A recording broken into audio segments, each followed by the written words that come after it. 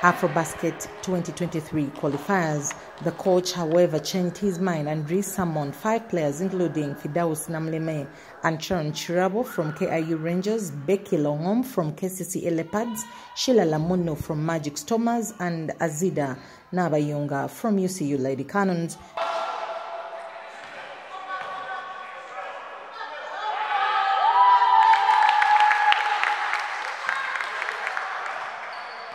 During the team's non-residential training at Lugogo Indoor Stadium, coach Alberto noted that he thought it better to bring back them on the team.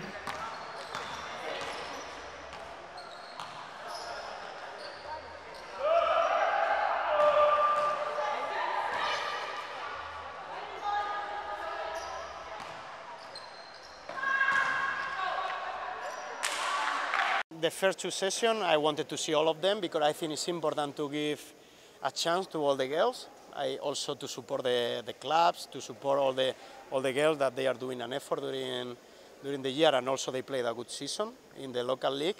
So after these two sessions, I think for me to go deeply in the concept, it was easy to work around with 20 players. And well, we, we took the decision about three sessions. After three sessions, that maybe it will be more fair and I will have like an extra opinion if they will have the option to play these scrimmages, like see how they really compete. Because maybe some girls, they were good in the technical skills, and others they were not too good, and maybe they are even better competing in the five on five. So that's why we decided to to have different point of view and different scenarios to, to take the decision about the 15 players.